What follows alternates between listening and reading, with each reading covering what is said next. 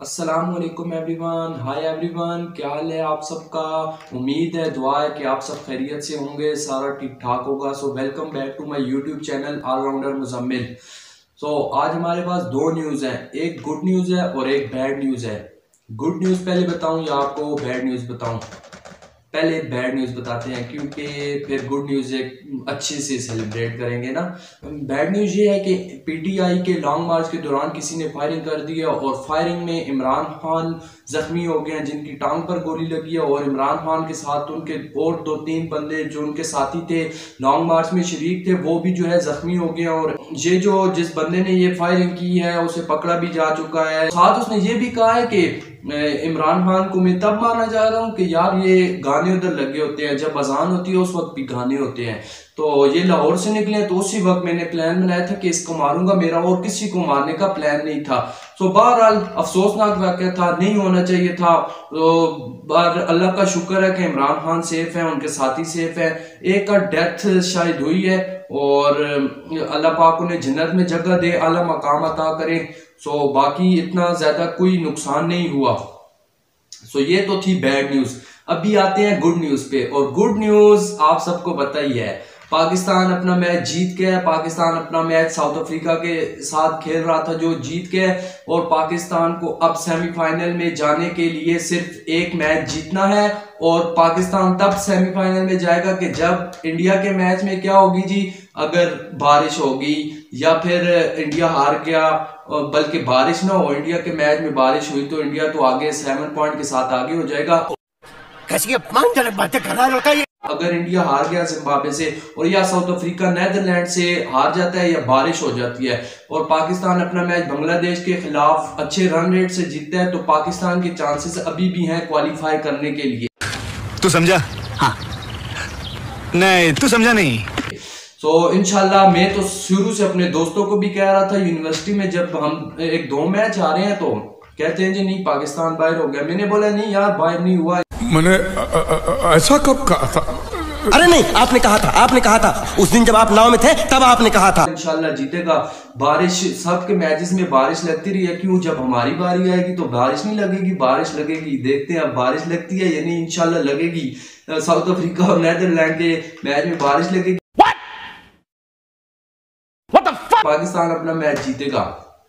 तो चले फिर आज तो अभी बैटिंग पे आते हैं। सबसे पहले जी, पाकिस्तान ने टॉस किया और किया बैटिंग का फैसला। एक चेंज की है, पाकिस्तान ने हारिस आ गए मोहम्मद हारिस आए हैं। ठीक है, फखर जमान की जगह और फखर जमान इंजर्ड हो गए हैं। तो बाबर आज़म और रिजवान ओपनर आए हैं। अच्छी फॉर्म नहीं चल रही उनकी। दो साल से वही परफॉर्म कर रहे हैं। उन्होंने इस वर्ल्ड कप में अपने मिडल ऑर्डर को चांस दिया। चीटिंग करता है, तू चीटिंग चीटिंग चीटिंग करता है तो। ये सारे प्लेयर्स को चांस दिया कि वो देखते हैं क्या करते हैं। तो क्योंकि पिछले दो साल से आप सबको पता ही है कि बाबर आज़म और रिजवान छाए हुए हैं ओपनिंग में न किसी की बैटिंग आ रही है आखिर में एक दो ओवर बस मिडल ऑर्डर खेल रहे हैं। तो खैर होता है फॉर्म है अप एंड डाउन आती रहती है पर उम्मीद है आगे अच्छा खेलेंगे ये ना हो पिछले तीन मैचेस में भी यही कुछ कर रहे हैं। अरे भाई भाई समझ के बोल रहा हूँ यार। बुरा लगता है भाई आप लोग भी जानते हो। रहे हैं तो आगे इनकी ज़रूरत है रन बनाए। तो क्योंकि बाबर आज़म की जो कवर ड्राइव देखते हैं तो मज़ा आ जाता है ना। तो बात करते हैं जी आज फिर सबसे पहले किस पे? पहले बातें तो बहुत सारी करनी है। इफ्तार अहमद ने भी अच्छा खेला है शदाब ने भी अच्छा खेला है। कौन कहता है जी इफ्तार चाचू है? आई विल बैक चाचू माय इफ्तार चाचू। कोई इफ्तार चाचू नहीं है इफ्तार अहमद है जवान आदमी है यंग आदमी है। तो उनको कुछ नहीं कहना चाहिए। ठीक है, जी। और मोहम्मद आरिस की जो चेंज इन्होंने की है ना, मोहम्मद आरिस की चेंज बहुत अच्छी चेंज की है। मोहम्मद आरिस ने आज 11 बॉल पे 28 रन बनाए हैं। तो ये चाहिए होता है पावर प्ले में, ठीक है, और अच्छा खेल है। आज उसका वर्ल्ड कप का पहला मैच था तो अच्छी बॉलिंग लाइनअप के खिलाफ उसने अच्छी बैटिंग की है। और यार, मैं तो कहता हूँ इफ्तार चाचू को दो दिन रेस्ट दे दे। इफ्तार चाचू को बिल्कुल, चाचू नहीं इफ्तार चाचू नहीं इफ्तार हाँ यंग आदमी। यंग बॉय को बिल्कुल रेस्ट दे दे। बोले जी, आप बस दो तीन दिन आराम करें, बिल्कुल सोए रहें। आपको कोई वो नहीं है, आपको कोई काम करने की ज़रूरत नहीं है। उनको खाना चाहिए हो, वो खुद आप उनको दे जाके कमरे में दे। उन्हें बस बोले, आप दो तीन दिन रेस्ट कर लें, क्योंकि आपने इतना खेल लिया। इतना खेल लिया और यार, ये एक बात और मुझे बताएँ आप। ये आप जरा इनका डेट ऑफ़ बर्थ तो देखिए, ये कहाँ की पैदाइश है इनकी, क्योंकि ये तीन फिफ्टीज हैं, वो ऑस्ट्रेलिया में मार रहे हैं। यार, कमाल की बात है। ये तीसरी फिफ्टी अपनी तीसरी ऑस्ट्रेलिया में, पाकिस्तान में कोई फिफ्टी नहीं है, और जिधर खेले उनकी कोई फिफ्टी नहीं है। और तीसरी फिफ्टी है, तीसरी फिफ्टी ऑस्ट्रेलिया में है। अच्छा खेले इफ्तार है बंदे अच्छा खेले। और पाकिस्तान को उनको ये दुआ करनी चाहिए कि साउथ अफ्रीका वाला मैच नैदरलैंड जो है जीत जाए या बारिश लग जाए और पाकिस्तान अपना मैच जीत जाए। और इंडिया के लिए कोई दुआ नहीं करनी। हम ये चाहते हैं कि इंडिया के साथ हमारा क्या आए? फाइनल आए। हमारा इंडिया के साथ फाइनल आएगा तो मज़ा आएगा ना।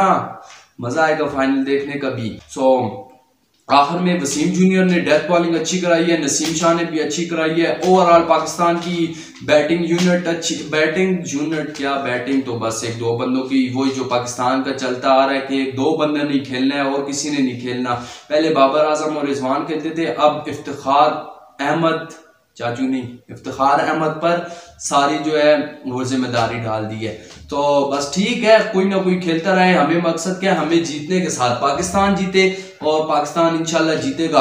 और अब बस ये है कि पाकिस्तान अपना मैच नेदरलैंड सॉरी अपना मैच उसके खिलाफ जीते, बांग्लादेश के खिलाफ। और बाकी कोई टेंशन वाली बात नहीं है। बारिश भी होगी हारेगा भी साउथ अफ्रीका और पाकिस्तान अपना मैच जीतेगा भी अच्छे रन रेट के साथ जीतेगा वर्ल्ड कप लेके आएँगे सारा सब सब कुछ अच्छा होगा। तो बस यही था आज का जो है सारा आज का आ, क्या कहते हैं कंक्लूजन यही था समरी यही थी पूरे दिन की यही थी। एक तो बैड न्यूज़ थी चले वो भी बता दी और गुड न्यूज़ भी बता दी है पाकिस्तान मैच अपने जीतेगा और वर्ल्ड कप भी जीतेगा और बारिश भी लगेगी, सारा होगा, पाकिस्तान के हक में होगा सब कुछ और फाइनल आएगा इंडिया के साथ। इनशाला इनशाला और हम जीतेंगे इनशाला तो थैंक्स सो बस यही थी आज की वीडियो लाइक करें सब्सक्राइब करें सपोर्ट करें। आपकी सपोर्ट की ज़रूरत है। बस बाकी जो करने आप कर लें। शेयर लाइक जो भी है। Thanks thanks for watching